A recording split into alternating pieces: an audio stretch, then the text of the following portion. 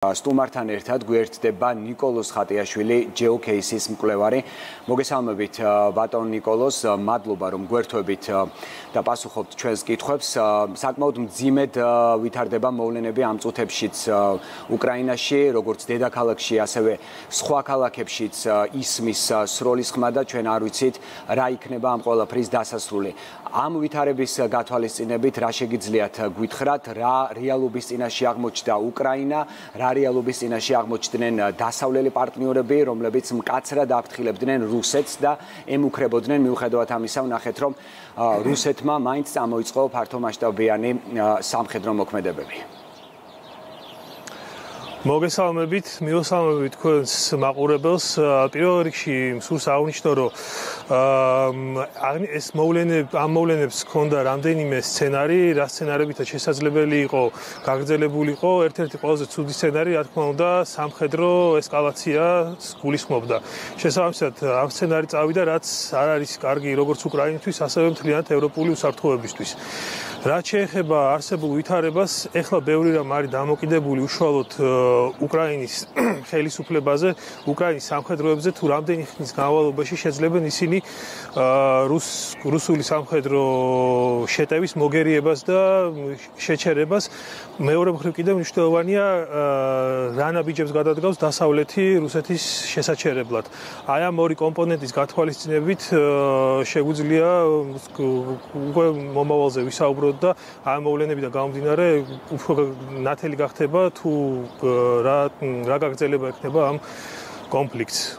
ამ სანქციების პაკეტს ჩვენ ვნახავთ როგორც ვიცით საგანგებო სხდომები არის უკვე ბრიუსელში დანიშნული თუმცა სანქციების გარდა სხვა გზა რჩება თუ არა დასავლეთს იმისათვის რომ რუსეთის ეს აგრესიული პოლიტიკა რეალურად შეაჩეროს თუ ყველაფერი ამ წუთებში სწორედ უკრაინულ ჯარზე გადის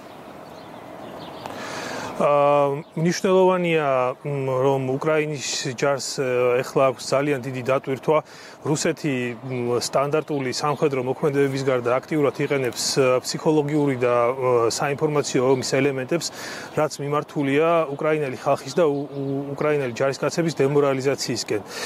რაც შეეხება დასავლეთის სანქციებს რა თქმა უნდა საჭირო არის უმკაცრესი სანქციები თუმცა პარალელურად მნიშვნელოვანია რომ გაგრძელდეს უკრაინის მხარდაჭერა როგორც სამხედრო სამხედრო ასევე ჰუმანიტარული დახმარების მიმართულებით და ასევე საჭიროა მნიშვნელოვანი განცხადებები და მნიშვნელოვანი პოლიტიკური ხარდაჭერის გამოხატულება. ბატონ გიორგი, აქვე აუცილებლად მინდა გკითხოთ იმ გადაწყვეტილების შესახებ და იმ განცხადებების შესახებ, რომელსაც ჩვენ ვისმენდით მთელი დღის განმავლობაში, გულისხმობდი მიმართვებს, ჩვენ ვნახეთ უკრაინის პრეზიდენტის მიმართვა, ასევე სხვა ოფიციალური თანამდებობის პირების, ისინი აფრთხილებენ მოქალაქებს, რომ შეინარჩუნონ სიმშვიდე. უკრაინამ რამდენად მოახერხა დილით განხორციელდა ეს თავდასხმა, რამდენად მოახერხა აი ამ თავდასხმიდან, ამ შოკიდან გამოსვლა და როგორც როგორ გაქვთ რა ინფორმაცია გაქვთ თქვენ პირადად, რამდენ რამდენად მართო მართა ასე ვთქვა დროულად და სტრატეგიულად აი ეს კრიზისი რომლის წინაშეც ქვეყანა დღესდღეობით აღმოჩნდა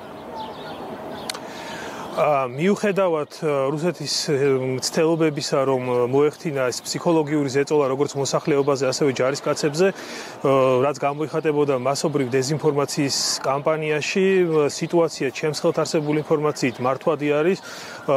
უკრაინული ჯარი ეფექტურად ახდენს ყველა შეტევაზე რეაგირებას და ვფიქრობ, რომ ჯერჯერობით უკრაინა უკлауდება ამ მოვლენებს. დიდი მადლობა, მაყურებელ შევახსენებ ჩვენს კითხვებს ნიკოლოზ ხატიაშვილი პასუხობდა, ჩვენ განვაგრძობთ გამოშვებას.